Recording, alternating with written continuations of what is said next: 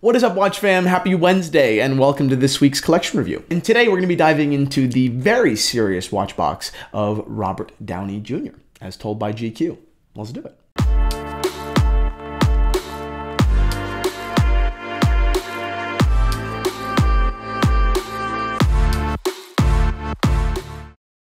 All right, before we jump into Robert Downey Jr.'s watches, uh, a quick wristwatch check. I'm wearing a beautiful Universal Geneve Polerouter strapped on a TNH Sark strap, uh, semi-matte alligator, tapered beautifully, yellow lining. Uh, our collaboration with Jean Rousseau literally brings the best straps to the strap market. If you don't know what I'm talking about, that means you don't already own one, and you can fix that uh, in the link in the description, and I highly recommend you do. Okay, so uh, GQ did a video two years ago, I believe, uh, where they jumped into Robert Downey Jr.'s, you know, watches. They took a very comical approach. Uh, I really enjoyed it. I think that we consume so much very, very serious watch content uh, that, you know, it can get sometimes a little bit stale and a little sarcasm. Uh, I don't know, lightens the entire, I don't know, mood, right? That's kind of what we do here at TNH. Uh, for example, um, in a Hodinkee video, you would never see Ben look like like I do right now, you know, because because they're professionals. We're just a bunch of bums that love watches and have a very serious dedication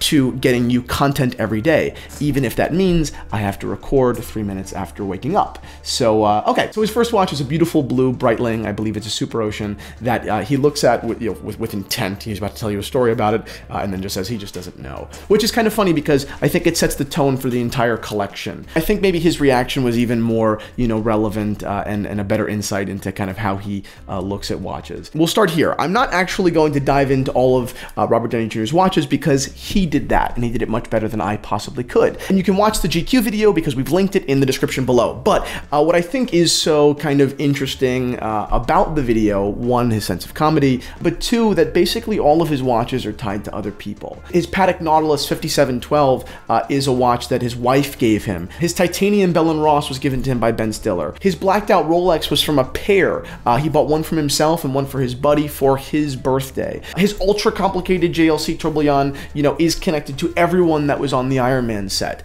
Uh, everything here truthfully has meaning. They're not just, you know, items. I feel like, you know, when you're Robert Downey Jr., right, when you have all the kind of money and resources that anyone could possibly really want, um, it's so much more important to have things that represent something.